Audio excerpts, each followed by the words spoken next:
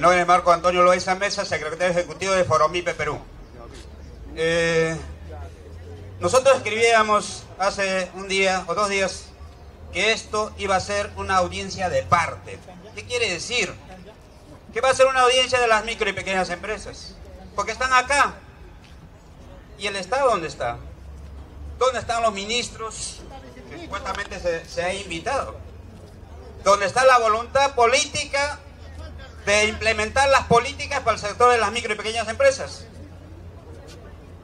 Saludamos la iniciativa de la Comisión de Producción MIPE Cooperativas. Nos parece interesante hacer este ejercicio, esta dinámica de juntar a las partes para ir construyendo propuestas políticas para el sector de la micro y pequeña empresa. Vamos a ver qué cosas se puede mejorar para los futuros. Nosotros como Foromipe Perú, nosotros somos un espacio de incidencia en políticas públicas. ¿Cuál es nuestro caucao? Hacemos leyes, políticas y normas para las micro y pequeñas empresas. Y fruto de ese trabajo de 10 años, tenemos tres proyectos de ley que ponemos en consideración del Congreso de la República. Lo hemos hecho llegar personalmente al congresista Neiro.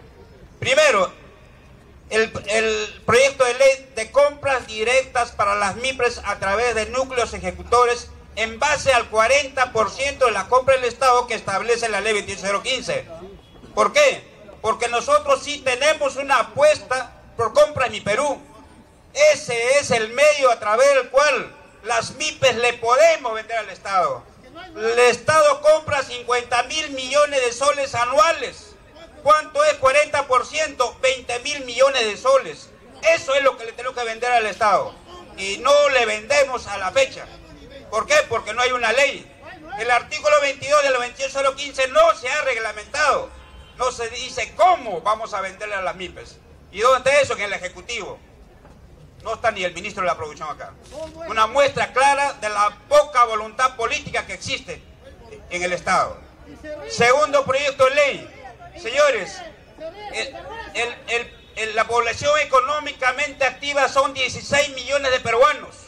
De esos 16 millones, 7, 8 millones son autoempleados, emprendedores, autogenerados, canillitas, lustrabotas, emolienteros, mototaxistas. Para ellos no hay políticas.